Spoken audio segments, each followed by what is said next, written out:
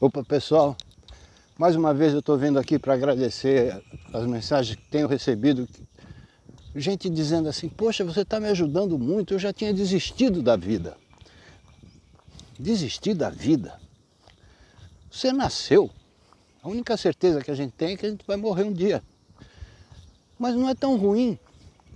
O importante é passar pela vida com, com amor, com felicidade, com gratidão né?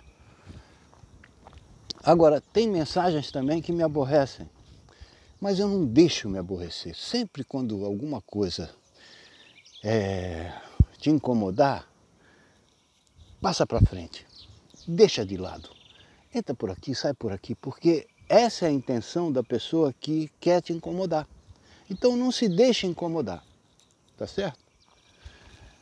E é legal a gente saber que de alguma maneira a nossa passagem pela Terra está ajudando alguém, está elevando a alma de alguém, está tá proporcionando um viver melhor. Muito obrigado. Valeu? E vamos em frente. Uma hora acaba, então enquanto não acaba, vamos aproveitar. Vamos aproveitar a vida. Valeu. Muita saúde para todo mundo.